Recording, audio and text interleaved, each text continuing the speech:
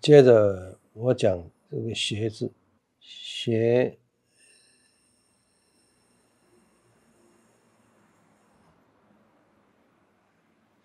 上面啊是对称符号三点，在上面是三点，然后接着下面是包容的符号，这是包容，再来这一个字，这个包容符号，比如右边的。从这里有一个包容的符号，然后接着下来加也有一个包容符号，哦，这些都是有相同的包容符号。这边有一个环，这个我们详细等一下再讲啊。它也是好像是包容符号，但是它这个不是包容啊。接着我们写熟。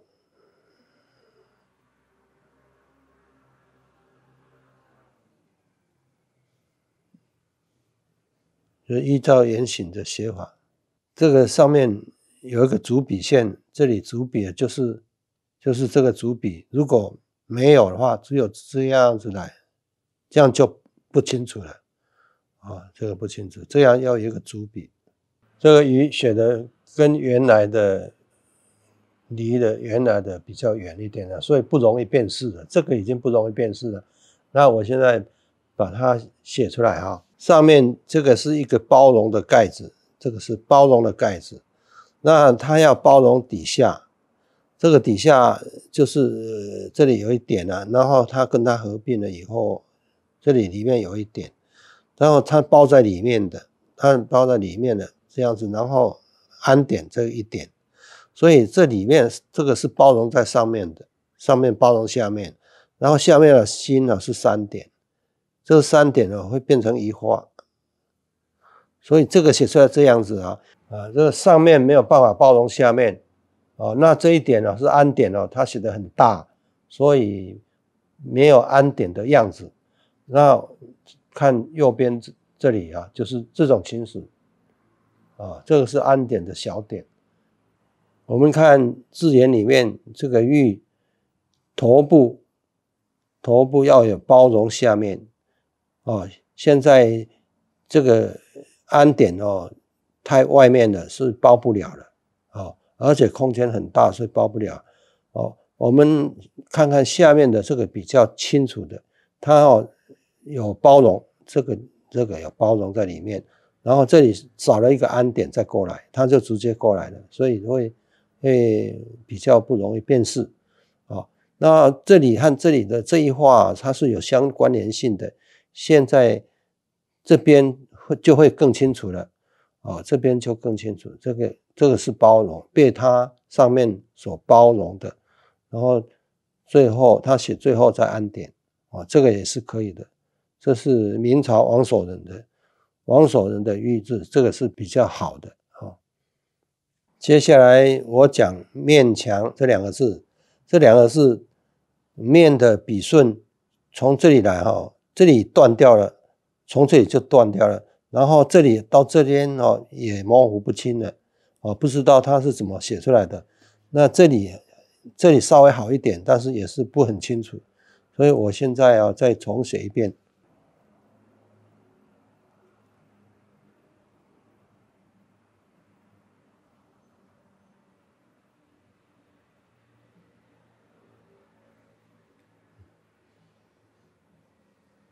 然后下面这是对应两点，再来，然后来，这是对应两点啊，所以绕一圈，然后过来，从这里这里要绕到这边，然后再回旋过来，然后再这样，然后中间一点，这个或以前有讲过，主要是头部要很清楚。这三点啊，连成一线，然后两个口变成一个口，这个头，然后这一端呢是带笔线，所以不能写出。现在呢这边呢分不清楚，两个口变成一个口，然后再来下面，啊这样子就会清楚。西头部出来的中间中间这个部分是简化一点。然后末端的这个我这两点，这里两点，然后下面呢，下面两点，下面啊这一点呢，这个一点，哦，就是这样，就是两点。西之往都，但是这个都看起来像考，看起来没有把右旁分出来了，分离出来。哦，那再看我右边的，我已经把它分离出来。哦，把这个右旁和左旁有分离出来。这都这里是中间的部分，中间的部分是简化成一点，然后这个头的部分。这样子就简化成一点了，然后这边呢分开，从这里来是要两边分开的。这两个都的比较，它是左右分明的，它是右边哈躲在左边的里面的，所以这样子就容易呃认不清，以为这个它是考字啊或是什么字啊。接着讲菱形。林的左旁有两种写法，林的右旁要包容里面，里面包容下面的是对称两点，它也这边也写的不清楚哦，请看我们这边，它就是一个上面的一个包容的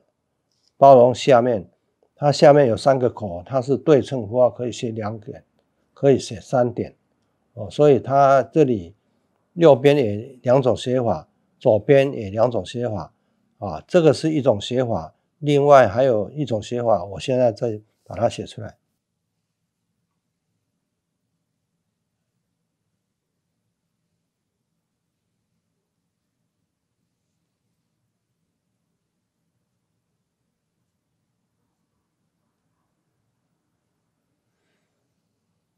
它这个是中间。中间简化符号在一这里一点啊，然后从这里开始写到这边中间一点啊，这个是一种写法。那另外一种写法就是这里一点，然后这里对称两点，然后这边往这边走，走了到这边啊，一二三。一二三，或是写这样，从中间破开，从中间破开，左右对应两点，所以右边也可以这样写，也可以这样写，但是呢，这个要包容，哦，他写的太短，他就不能包容下面，啊，所以他另外一种写法就是三点，这个也有包容的意思。这边如果下面两点啊点得清楚，也算可以了啊。但是它因为这两点呢变成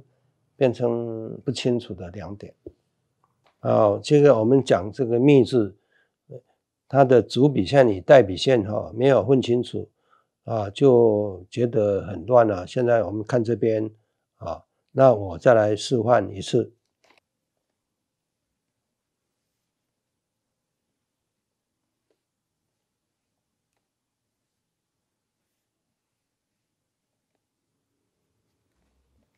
好，我们接着讲这个“折”字，上一次有讲过，我们再比对一下左旁的，就是这个“折”字。然后“书”“意”“意”这个是一个符号，这个是圆形草，这个是符号草，啊，这两个都可以这样写的。呃，“其”也也都讲过了哦。“处”“处”这个是一个上半部的一个符号和下半部的包容的符号，这两点太近哦，会。会呃交代的不清楚啊！现在看左边，左边啊，这个是上半部的一个符号，部首符号，下半部有一个包容的，这里面包容的这两撇，然后再一画，它是里面有一个一点，然后就接过来，那接过来最末端啊是要安点来平衡，如果是往下面写的话，它会乱掉了，它字又太长，所以它往上安点，接着。诗的右旁写的偏低了，然后代笔线又很长。我们比对左边的这个诗哈，它是在中间的。接着写位，这个位是头部是两点，这是一点和一撇啊，所以这里没有出来，这个头没有出来就会认识不清。为字虽然可以猜的这个是为，但是因为头部没有写清楚啊，还是不理想的啊。头部最好能够清楚，然后我们呢一眼就可以认识这个是为字。接着看部啊，就是它一笔和一笔之间的笔端一点，你要看清楚了，这个是可以的。啊，下面是二，这个二中间啊，这个是两点，那这个是带笔线，这里是带笔线，啊，这里两点对称符号，然后接着下面是一横画，写的太短哦，就会会认不出这个是二。那我们请看左边的啊，就是这个一个亚亚洲的亚哈。哦，这个雅的左右是不是对应的两点？然后一横，然后心是三点，啊，这样子比对一下就会看得清楚了。我们来看字眼的“二”字，这个孙过庭师谱这个“二”字，跟其他的那个历代书帖的“二”字来比对一下啊，“二”字它有圆形草，有符号草，哦。那我们来看看这一边哦，这边是赵孟虎，这个赵孟虎这个是对的，这个王羲之的这两个是对称两点啊，然后一画这也是可以的，这个中间的对称点三点也是可以的啊，就是一个亚洲的亚，但是中间它是对称啊，这也是可以的。这个左边这个这个是王献之，这个头好像是在写这个吉。啊，啊，就是很很快速这个急这个头，大概是这里哈，因为一横画这里断掉了以后，它就瞄准，把从从这里就过来了。然后这上面的就是省了太多，就不容易辨识说这个是二啊，以二的形状这个相差太多啊。上面这个字是可以的，这个是可以的，这个也就是可以的，因为这个亚洲的亚。啊，这个是对称，然后一画，啊，然后下面三点是心，这个是王羲之、王献之，哎，这个是王献之的，这样一样，王献之的字，这两个字是容易看得出来的，这下面这两个字是认不出来的，那上面王羲之的，这个也是省了太多，也不容易辨识的，啊，再来左边。智勇的这个也不容易辨识的，因为头不清楚，头等于一横画一点啊，这这个头部不容易分辨，下面的心是好分辨，那但是头就不容易分辨啊。再来淳化阁的宋朝的，这里也是好像是望，看起来好像是望，那这里槐树的也看起来好像是望啊，孙过庭。这个字就是因为它下面这一横画太短了，所以就会认知上哈是分不出来的。接着下面这个字看起来好像是熏啊，就是薰衣草的薰啊，这是一点一画这样子看起来熏。那，下面是四点就三点哦，我们会误解啊，因为离得二哈离得很远，我们会会以为这个是。下面一个火的心啊，四个四点嘛，火的熏。左旁这边也是不清楚的，省了太多哦。这是米糊的，宋朝米糊的，这个也是不清楚。所以，我们这个是在工具书里面要要自己去去查，自己去辨识，然后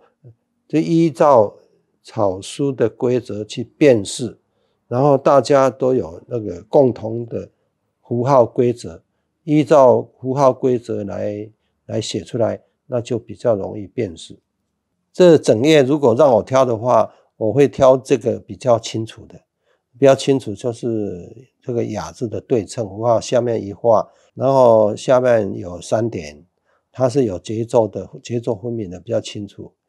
那如果我写的这种形态的呢，这种形态的也可以从直的画先写，然后点三点的。那如果是顺过挺的呢，我是认为如果这一画下面写长一点哦，就比较容易辨识。接着我们讲这个“环”这个字，这个字的头的这个符号，现在它的符号是有，但是也不很清楚。但是接着下面这横画它太短了，呃，就没有办法这依照它的位置来标。现在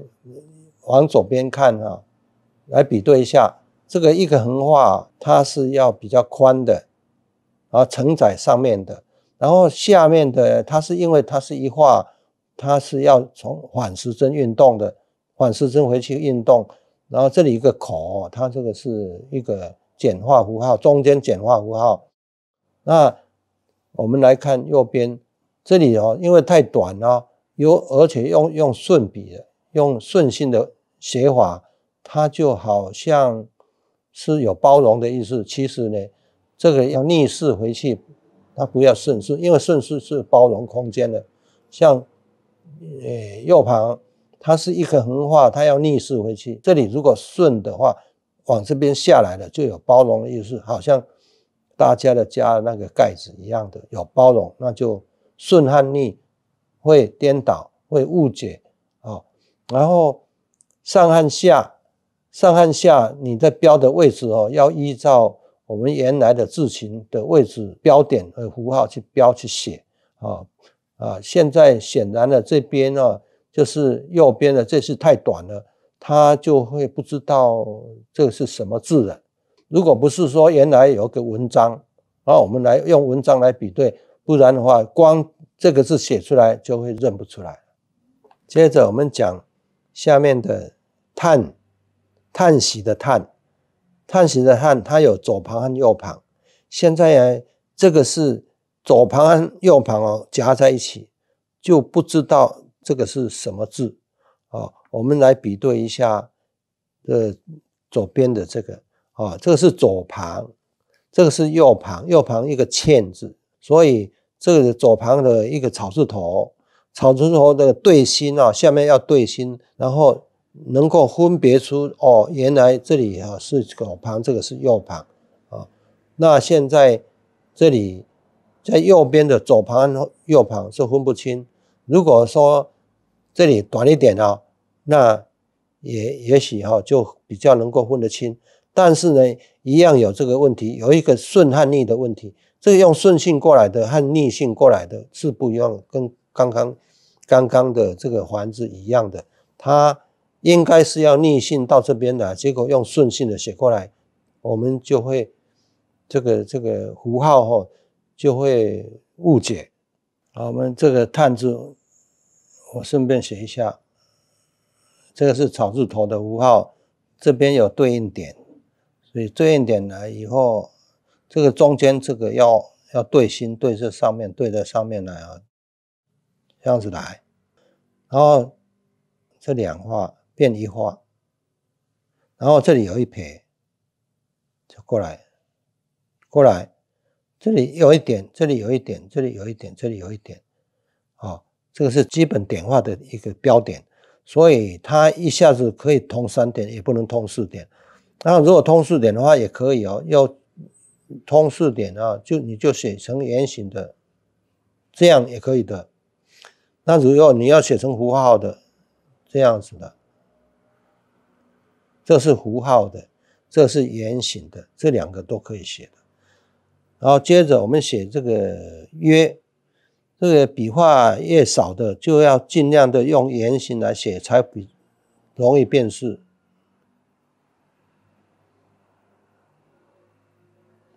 这个是笔画少的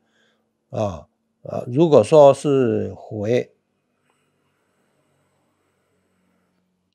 为，是因为这样子没有办法做草书的圆周的转动，所以啊，它就会变成。到了隶书以后，它为了要一气呵成啊，它就会变成这样子。然后以为以为这个字变成草书，它就是这这样，然后过来，然后直的两画，然后中间一点，中间简化一点，啊，所以这个是回，这个是约。那如果是日呢？日就是它比较修长的，这个是修长的，这个是扁的，所以扁的是耶，修长的是日，那这个是回。这个无写的比较很窘窘迫了哈，然后呃，我们比对一下左边的这个无我要写大，然后在这里缩小。哦，这这个是对称符号，一个口啊是对称符号两点，但是这个五也可以写成圆形的符号。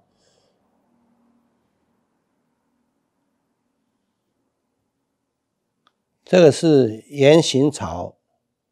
圆形草就是这样子草。好，这是圆形草，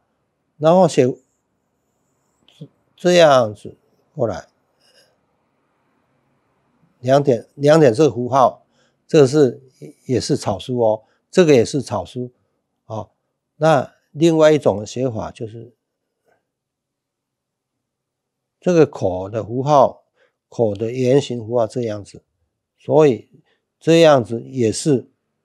但是这样看起来不大不大好，哦，就是这样子来啊，所以这样子写和这样子这样写是比较美，这样子写。比较乱啊，虽然是可以写这个口的符号，但比较乱，这样子比较好。另外还有一种写法就是这样，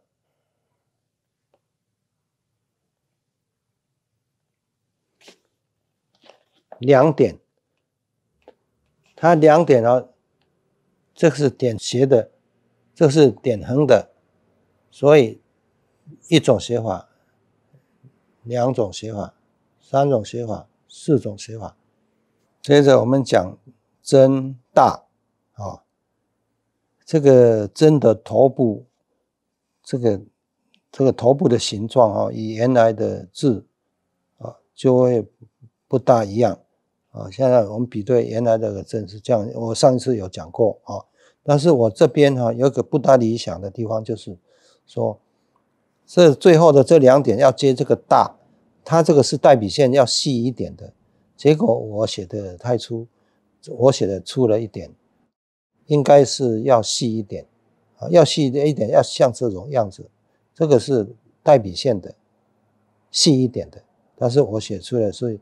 大家也不要跟我一样犯的同样的错误。接着我们看这两个“增大”这两个字，因为“真”的下面这两点哈脱与上面脱节了以后。我们就以为上面这个是诗呢，还是还是什么字呢？那下面这个字又看不懂了哦，所以这个笔录的连贯性哦，还有带笔线的粗细很有关联。接着我们来讲“缀”字，“缀”字这两个写法不太一样，所以我来解释一下。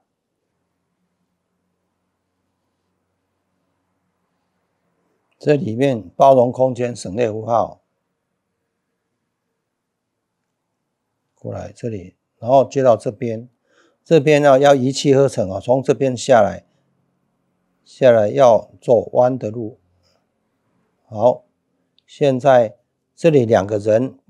这里有两个人哦，变成一个人。但是如果说只有写一个人哦，这里很空洞，空洞哦，在。书法的整体性的美感呢，它是要中宫紧密啊。结果这里写了一个空洞的，与与其他字体不重类的，所以这样是是不统一的。所以要把这一画，这下面这一画补上去，补位补上去，补这个上去，然后再一个人，这样哦，它才会使得它中宫紧密，使得它成为美感，然后。呃，譬如说，另外的一个说明啊，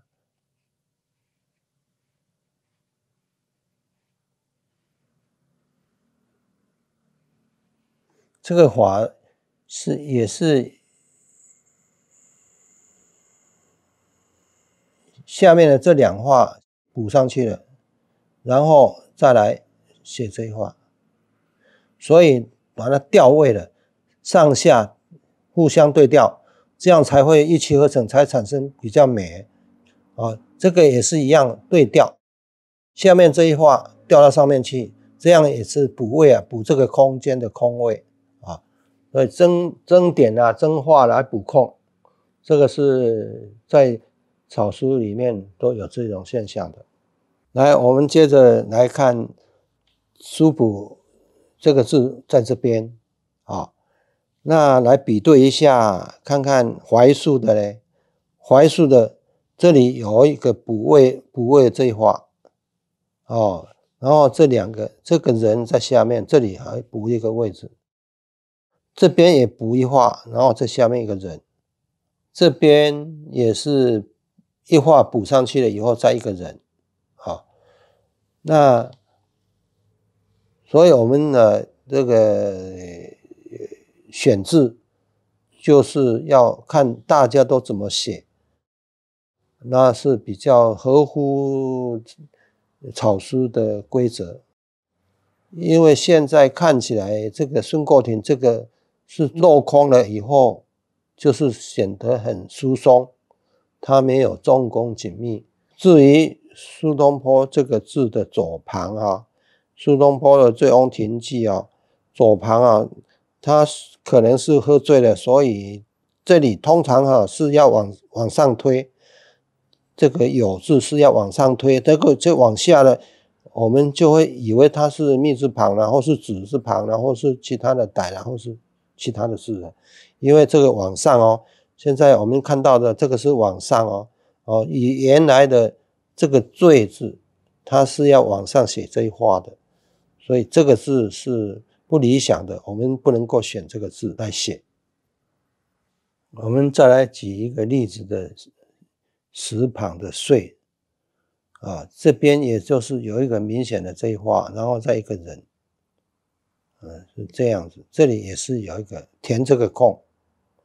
照他那样写不能说错哦。但是另外有一种写法，另外有一种把把这个横画补上去哦，这样子写的更会觉得紧凑一点。接着我们讲惭愧的惭。呃，上一次有讲过，这个左旁的车啊，写这样是不容易辨识的。然后右边，呃，这里是中间省略符号两点，啊，就是我们来看左边比对一下，下面是这个往上和往下，它是比较有这种写法，再往上翻过来的，但是有这直接下来的，像。左旁的，就是直接会下来，直接下来，这个是支。现在这个支有一点问题啊，这里要弯过来，这里没有弯过来，所以没有弯过来，这里就像这写一个长的话，不知道什么字哦。其实这个是支的，弯过来的。今天我们所谈的这一页《顺过天书谱》里面，它。就是有粗细，那有不和谐啊，整体上的不和谐，这些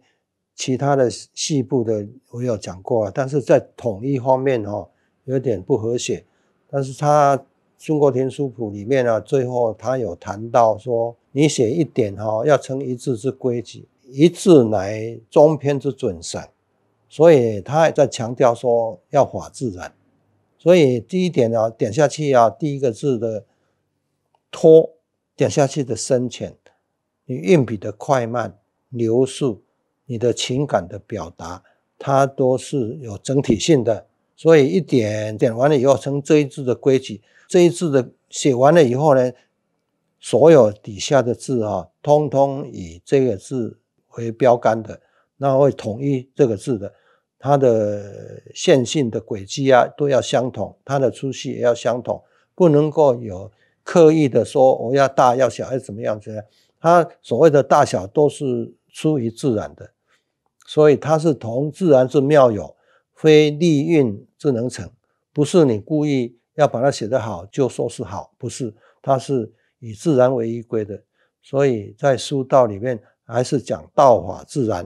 啊，以自然为依归。这个是从历代所看到书谱受到启发无数的人，都是有共同的一个体验，也祈勉大家向自然的方向前进。